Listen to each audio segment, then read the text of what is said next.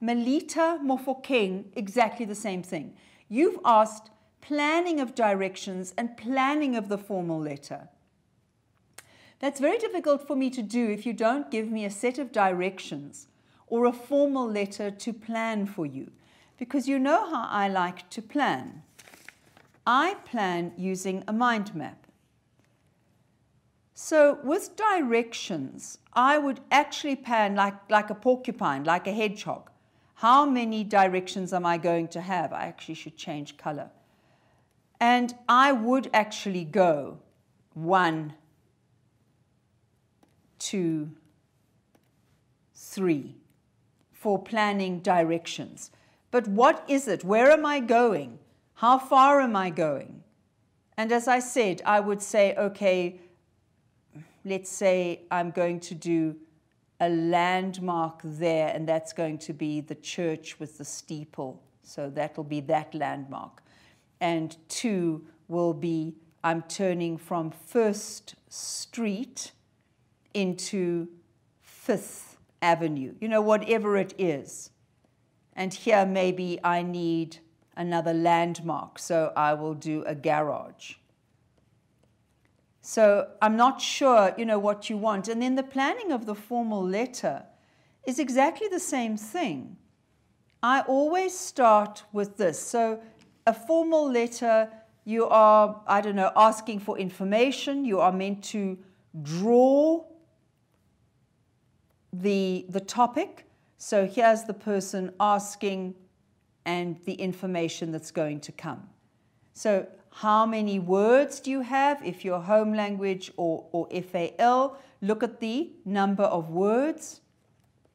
And then you need to say to yourself, a letter would have three paragraphs. Why would it have three paragraphs?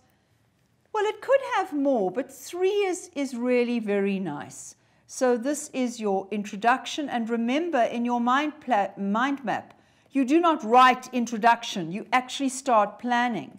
And then this paragraph is your body, and it's usually the longer paragraph or the longest of the three. And then you come to your conclusion. So possibly, Melita, do you want to send me some topics that you have looked at? And preferably with your mind map, could you give me a screenshot of the, of the mind map and let me discuss how you've approached the topic and where maybe you could improve it to get from that moderate into the skillful category.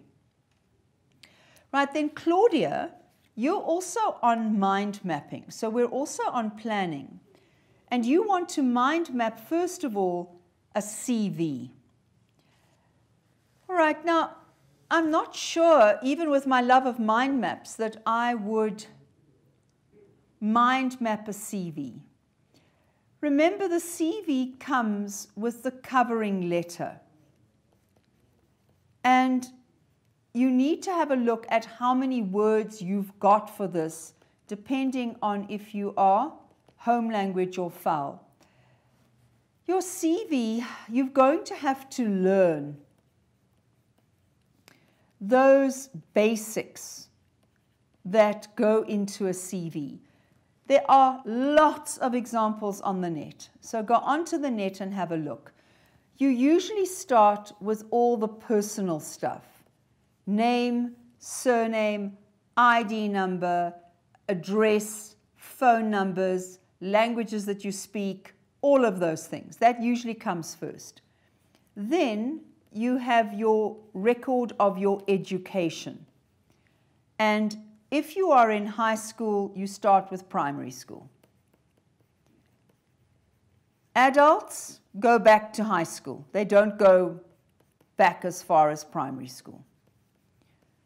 And you, you, you need to set it out. So again, just go onto the net and have a look at how CVs are set out.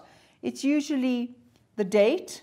So you say you were, I don't know, um, 2010 to 2015.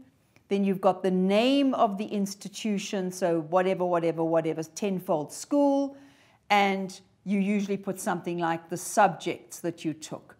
And if you've matriculated, you usually give your national senior certificate results. So you do your education. Then you go to experience.